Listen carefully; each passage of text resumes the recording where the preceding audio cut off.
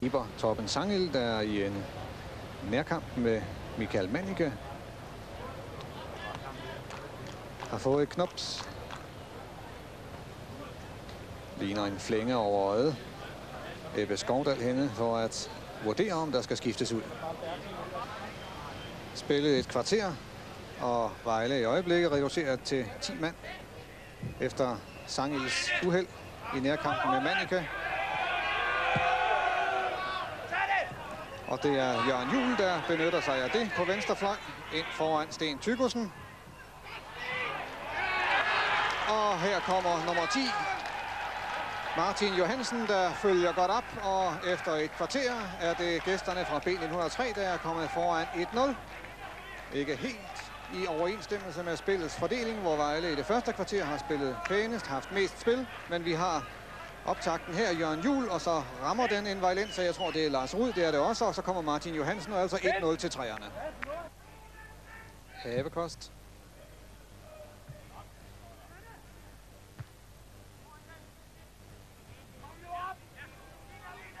Michael Johansen finder sin bror Martin, kampens målscorer forsøger at komme igen, men her er en chance til Jørgen Juel Jensen, og mens vejlenserne endnu ikke har fået tætte hullet i forsvaret efter Sangels uheld, så er det her i det 19. minut Jørgen Juel Jensen, der bringer træerne foran 2-0. Vi ser her Martin Johansen, der bliver taklet, men bolden over til Jørgen Juel Jensen, der let udplacerer Bøje Havekost i Vejles mål. Jørgen Ulbjerg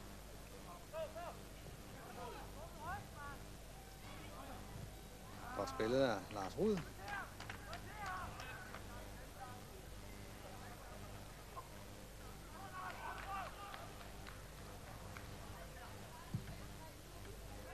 Jakob Laversen, lagt bold frem til Carsten Petersen.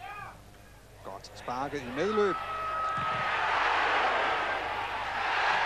Og i to forsøg er det nummer 9, Johnny Mølby, der får reduceret til 1-2. Godt sparket af Carsten Petersen. Glimrende hættet af Sten Tygussen bagud. Og så Johnny Mølby på pletten. Inde foran mål. Mangler 7 minutter af første halvleg. Lad os se det her. Godt hættet af Sten Tygussen. Og selvom Palle Petersen i første omgang får klaret, så er bolden over stregen, og vejlenserne har reduceret til 1-2.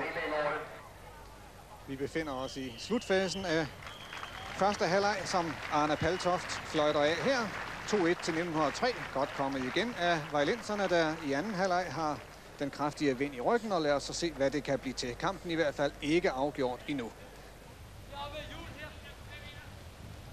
Carsten Petersen.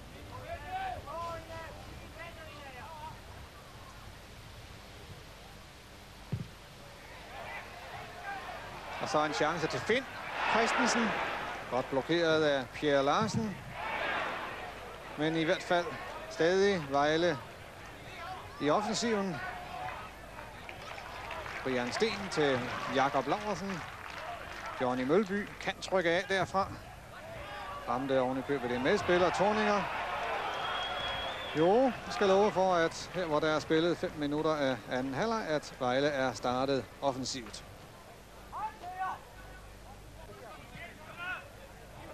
Godt driblet og spillet af Johnny Mølby. Jakob Larsen. Og han tager frisk chancen. Det er om at udnytte medvinden, men det ville selvfølgelig have været rart, hvis han også kunne ramme målet.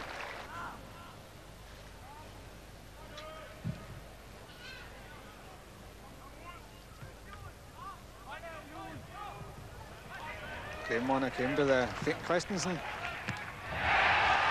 Og den bliver faktisk bedre til Carsten Petersen. Værsgo, Sten Tykkelsen. Og den skal ligge der. Og det var Johnny Mølby, der udnyttede en flottelse i B1903's forsvar. Og han har scoret sit andet mål her, hvor der er spillet 6 minutter af anden halvleg.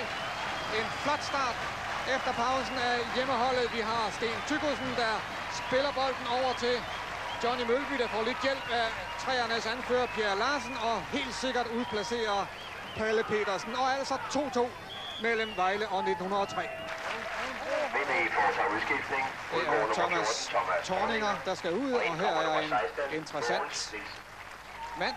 Det er Mogens Nielsen, 23-årige Mogens Nielsen, der er topscorer i Danmarksserien, da han spillede for Bramminge, kom til Vejle her i sommerpausen. Og hvad kan han præstere i front sammen med Sten Tygussen?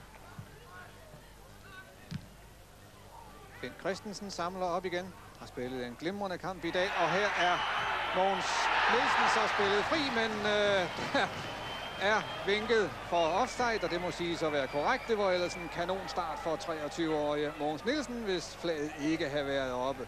Men det er Finn Christensen, der spiller ham, og den er god nok.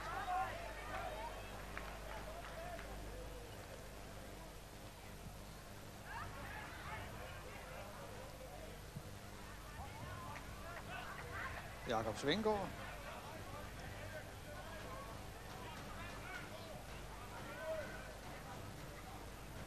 Mølby.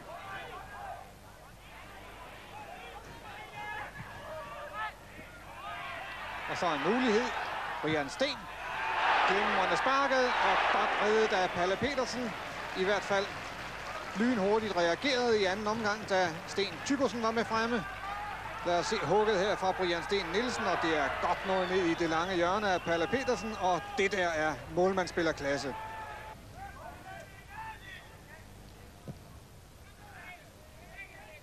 Jørgen Jul slipper igen efter en misforståelse. Manike og Jul igen.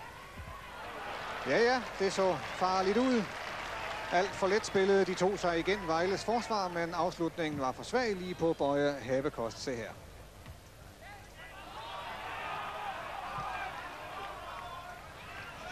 Og så Vejle i kontraangreb. Sten Tykussen. Bruger Carsten Petersen som finte. Brian Sten. Og Vejle får her, hvor der mangler en 3 minutter, fremtvunget et hjørnespark. Stillingen stadig 2-2. Hjørnesparket tager Sten Tykussen. Finn Christensen. Og et kanonhug af Vejles måske bedste spiller i dag. Finn Christensen og ned i det lange hjørne her, hvor kampen er i slutfasen. Og man forstår Vejlensernes jubel. Fuldt fortjent at holdet efter en energisk og imponerende indsats efter pausen er kommet foran 3-2. Har fuldstændig satset offensivt. Og her hvor bolden kommer ud til Finn Christensen, tager han chancen klokker rent ned i hjørnet, uden chancer for Palle Petersen. Et drømmemål og 3-2 til Vejle. En fantastisk spændende afslutning på denne Superliga-kamp. Kenneth Wegner med fremme, og der er muligheder for kontraangreb. Mogens Nielsen får hjælp af Jakob Svinggaard. Sten Tykkersen overlapper. Og der er mulighed nu, Mogens Nielsen. Og et kanonhug op i hjørnet.